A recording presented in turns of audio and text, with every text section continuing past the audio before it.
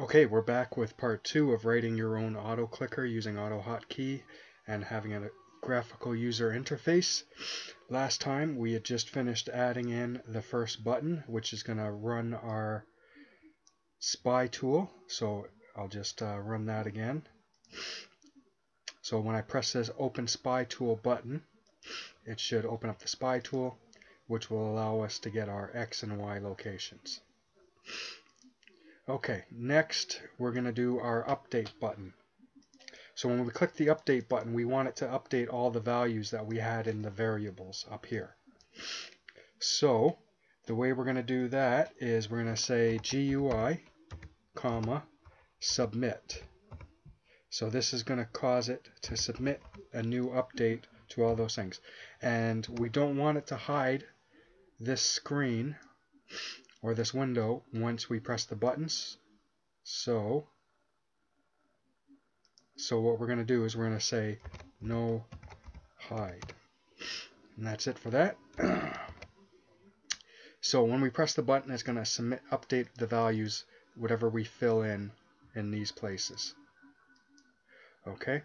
Next thing we're going to want to do is we're going to want to set a hotkey for these values here. And the way you do that with buttons is a little bit different than you normally would. So for example, down here, all I had to do was just type it out like this.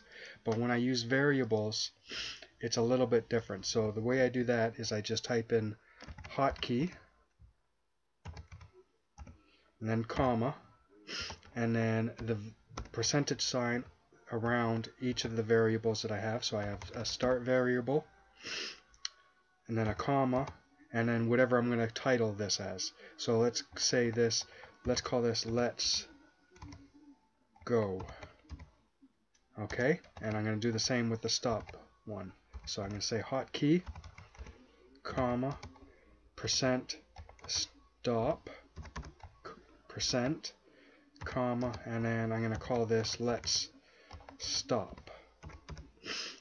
Now I can go down here a little bit and sort those out. So we have let's go and then I'll put a colon and then I'll go down two lines and I'll just say return because we're not going to be filling anything in yet. I suppose it would help if you could see it.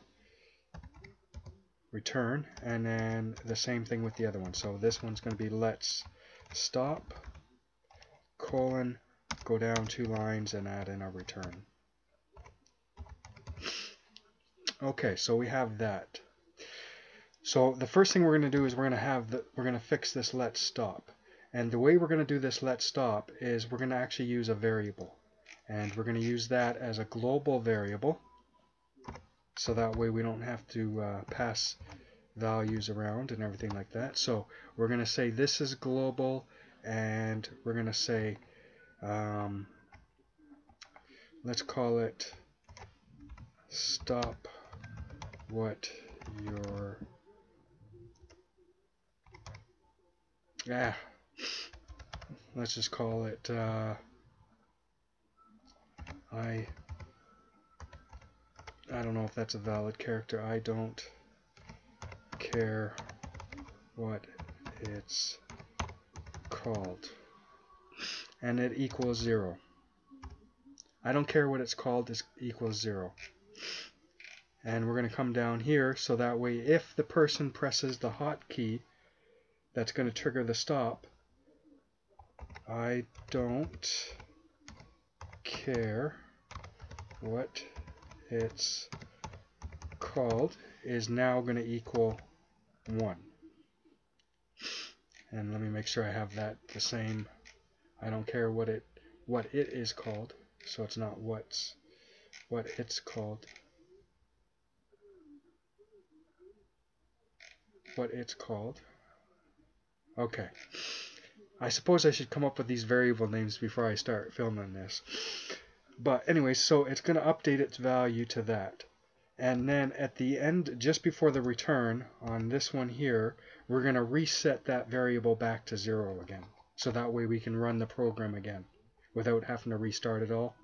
So I don't care what it's called equals 0 again. Okay. now what we need to do is check our variables, I mean our, our radios. So we need to check which one of these is pressed. And the way we do that is through a bunch of if statements. So I'm going to say if, and the variable we used was the same as their names. So if slow equals equals true, do this. Okay, and since all of the buttons are going to be basically the same from here on out, I'm just going to do this one first and then change, copy and paste a few times to fill it out. So if slow is true, what we're going to do is first we're going to check to see, no, we need a loop.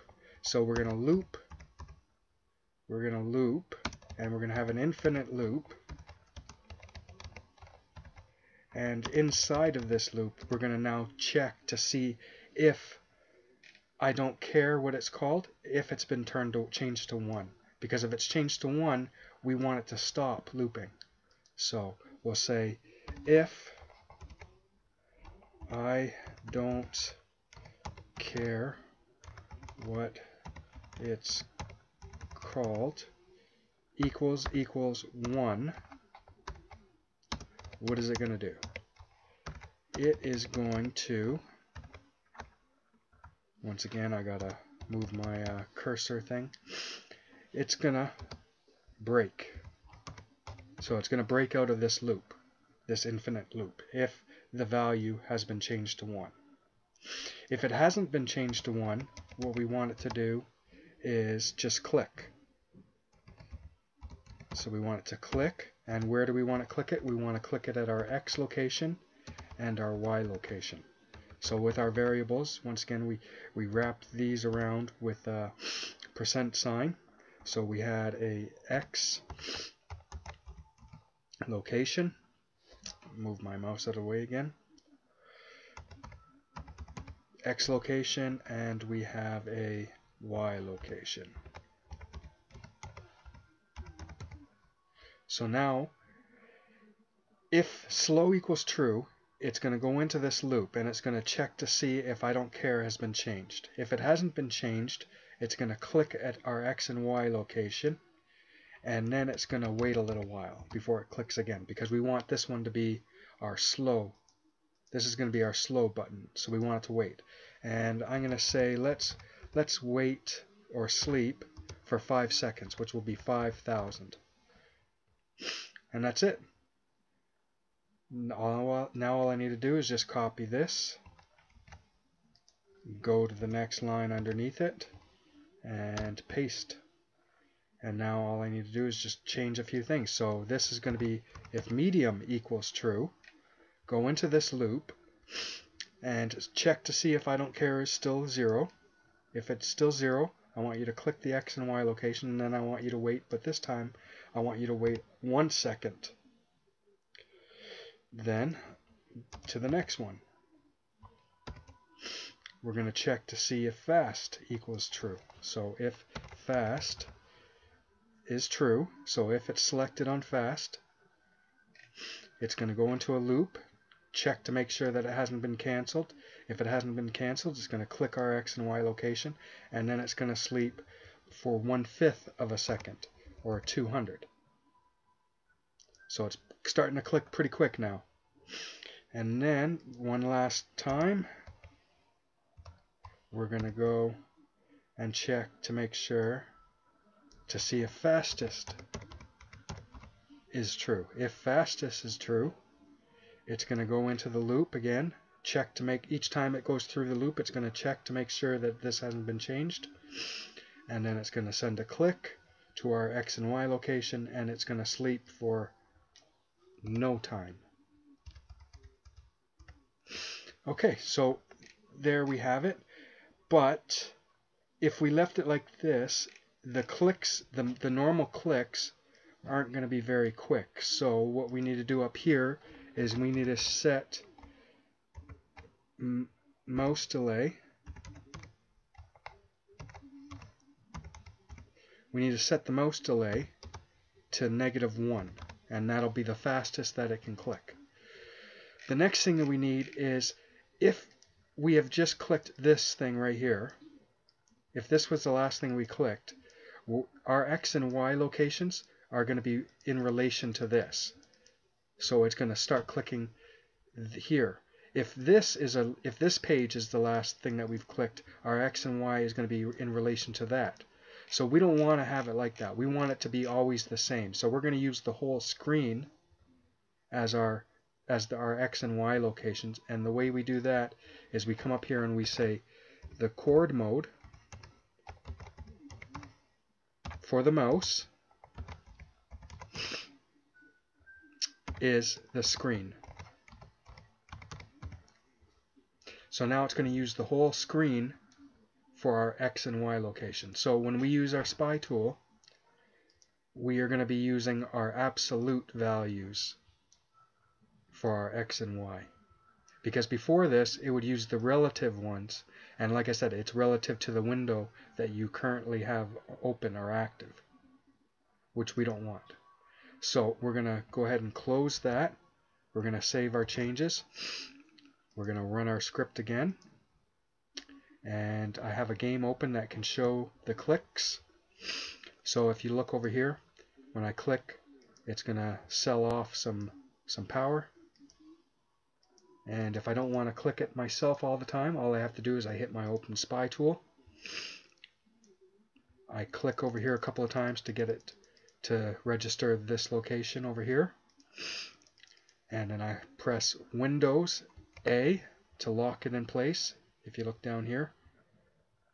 And then what I'm going to do is I'm going to copy these two numbers here. So I have 202 and 271. So our X is 202 and our Y is 271. The next I'm going to change my hotkeys if I want to. So I can change it to A and S if I want to or whatever whatever ones I whatever keys I want. I can have it 1 and 2 whatever I want to change it to. But I'm going to stick with Z next. Then I'm going to check my speed. So let's start off with testing it at fastest. We're going to close the spy tool. We're going to update our values, and then I'm going to press. I'm going to press my hotkey. So I'm going to press Z, and it should start clicking. And there we go. I'm going to press X to stop it, and it stopped. I'm going to check on medium speed. Now we remember we did the variable, so that way we change the variable back to zero so now when we run it again it should go. So if we press Z okay. I press X update and go. X again change it to slow excuse me update it Press Z to start, and it should click once every 5 seconds now. Alright, that's it. You have your very own auto clicker.